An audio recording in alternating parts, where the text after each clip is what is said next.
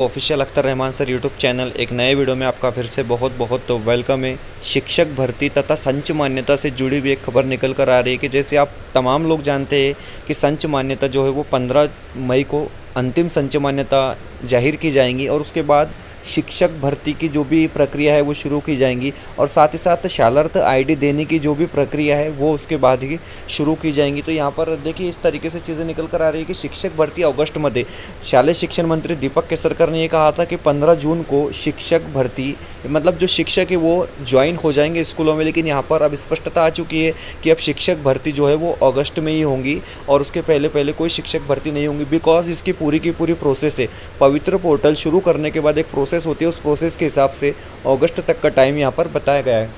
संच मान्यतेनंतर पवित्र portal active होना और संच मान्यता ज़ाहिर होने हो जाने के बाद पवित्र पोर्टल जो है एक्टिव होने के बाद यहाँ पर बताई जा रही है। इस वीडियो में हम आपको तफसील से इसकी इन्फॉर्मेशन देंगे। वीडियो में आगे बढ़ने से पहले अगर आप हमारे चैनल पर नए हो तो प्लीज़ चैनल को सब्सक्राइब कीजिए, साथ ही साथ बेल नोटिफिकेशन को ऑन कीजिए ताकि आपको आने वाले वीडियोस के नोटिफिकेशन जो है वो आसानी से मिल पाए। डिस्क्रिप्शन में जाकर अगर आपको हमसे ज्वाइन जुड़ना है तो हमारे टेलीग्राम और व्हाट्सअप ग्रुप को आपने ज्वाइन कर लेना है। वीडियो बेहतर लगे तो प्लीज़ वीडियो को लाइक कीजिए। तब्बल अडीच लाख बेरोजगार उमेदवारांना प्रतीक्षा असलेल्या शिक्षक भरतीचा मुहूर्त येत्या ऑगस्ट महिन्यात निघाला आहे. सध्या कार्यरत शिक्षकाची संच मान्यता पंधरा मेपर्यंत पूर्ण करून त्यानंतर नव्या शिक्षक भरतीसाठी पवित्र पोर्टल ॲक्टिव्ह करण्याचे नियोजन प्राथमिक शिक्षण संचालक शरद गोस्वामी यांनी शालेय शिक्षण विभागाला कड़विले आहे. तो इस तरीके से बताया गया है कि पंद्रह मई के बाद संच मान्यता हो जाने के बाद आगे की प्रोसेस जो भी है वो की जाएंगी। फेब्रुवारी मार्चमध्ये शिक्षक भरतीसाठी अभियोग्यता व बुद्धिमत्ता चाचणी घेण्यात आली. चोवीस मार्च रोजी या परीक्षेतील दोन लाख चाळीस हजार डी एड बी एड धारकांना निकालही जाहीर करण्यात आला. मात्र दोन महिने उलटूनही शिक्षक भरतीसाठी पवित्र पोर्टलच्या हालचाली नसल्याने उमेदवारामध्ये अस्वस्थता पसरली आहे. याच दरम्यान उमेदवारांनी उच्च न्यायालयात याचिका दाखल केल्यामुळे शासनाला पदभर्तीचे वेगवान नियोजन करने भाग पड़े तो ये जो पूरी की पूरी प्रक्रिया इस वजह से हो रही है कि किसी ने जो है, आपको पता है कि याचिका जो है, वो खंडपीठ में डाला था और उसके बाद उसका निकाल आ जाने के बाद ये जो प्रक्रिया है, इसको तेज, इसमें मतलब इसमें वेग लाया गया है, इसमें थोड़ी तेज़ी लाई गई है। उसके बाद आप यहाँ पर देखेंगे असे असतील, भरतीचे टप्पे तो देखिए भर्ती की पूरी की पूरी प्रक्रिया वो किस तरीके से होंगी यहाँ पर बताया जा रहा है। सबसे पहले, कार्यरत शिक्षकांची संच मान्यता पंद्रह मई पर्यंत अंतिम करने तो जो कार्यरत शिक्षक है, उनकी जो संच मान्यता है वो पंद्रह मई तक अंतिम की जाएँगी। और इस संच मान्यता आने के बाद ही जो है मतलब रिक्त पदों की आपको पूरी की पूरी इन्फॉर्मेशन मालूम हो जाएँगी कि कहाँ पर कितनी वैकेंसी है। साथ ही साथ शालर्थ आईडी जिन लोगों के शालर्थ आईडी मिलने बाकी है, उसकी भी प्रक्रिया इसके बाद ही शुरू होंगी।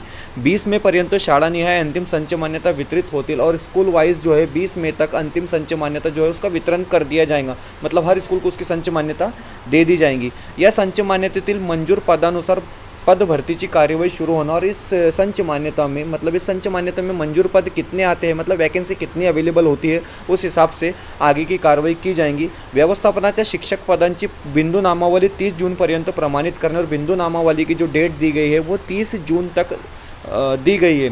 संबंधित व्यवस्थापनाच्या रिक्त ठीक है पदांची जाहिरात पंद्रह जुलैपर्यंत पवित्र पोर्टावर दिली जाईल और जो संबंधित व्यवस्थापन है जहाँ पर रिक्त पद है उसकी जाहिरात जो है वो पंद्रह जुलाई तक पोर्टल पर डाल दी जाएँगी, ठीक है? उसके बाद 20 अगस्टपर्यंत उमेदवाराकडून पवित्र पोर्टल पोर्टलवर प्राधान्यक्रम भरने नियुक्ति नियुक्तीसाठी शिफारस करने इस तरीके से जो भी है 20 अगस्त तक उनको बताया जाएँगे कि आपको जो भी आपका प्राधान्यक्रम है, उसको सिलेक्ट कर लेना है और आपका जो भी मतलब सिस्टम है, उसको पूरा का पूरा कर लेना है. दरम्यानच्या काळात दुसऱ्या तिमाहीकरिता शिक्षकांची, रिक्त पदांची पोर्टलवर नोंद करने तो इस तरीके से ये पूरा का पूरा मामला यहाँ पर बताया गया है. उसके बाद यहाँ पर आप देखेंगे कि पद भरतीची कार्यवाही आवश्यक.